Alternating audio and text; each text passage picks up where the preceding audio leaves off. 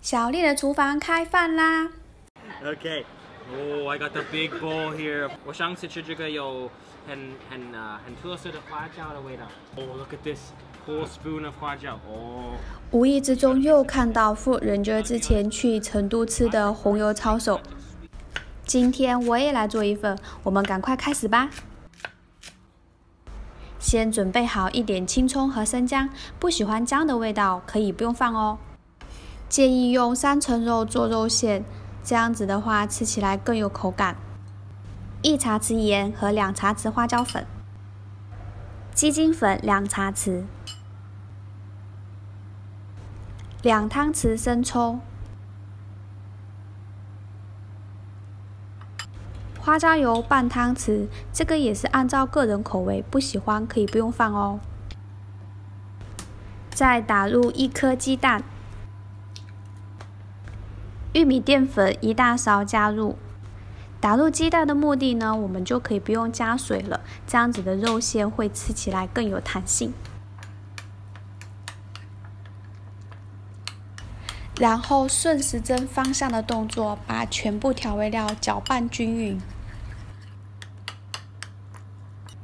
差一点忘记我的胡椒粉，加入一汤匙。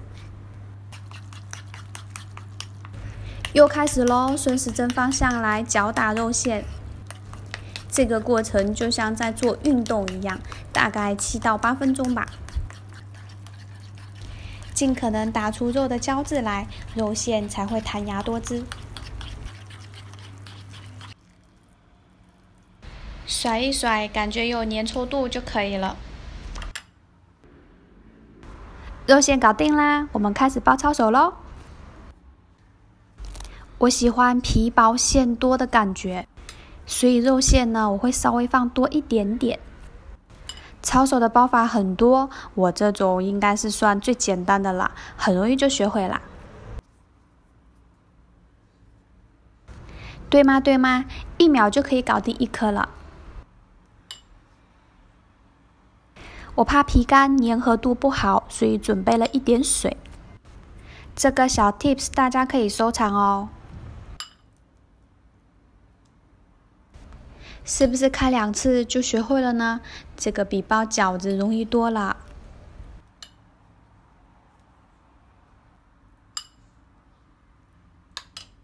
没关系，如果你还没有会的话，我放一个慢镜头给你们看。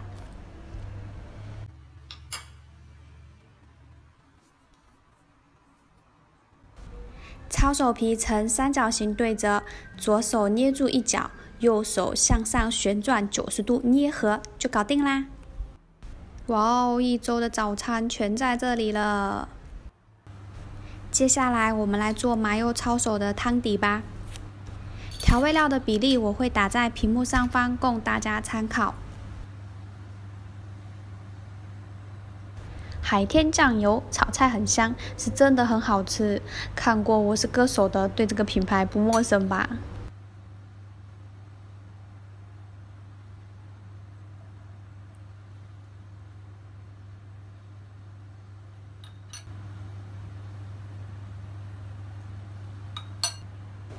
这个花椒油也非常的香，但是呢，依照个人口味，有些人不喜欢麻麻的感觉。我告诉你们哦，这个吃了嘴皮真的会跳舞的。我还有额外加入花椒粉、麻油抄手，这样吃起来才爽。这个就是我家必备的秘密武器啦，辣椒红油。如果大家感兴趣的话，下次我也可以分享哦。麻油抄手料底搞定，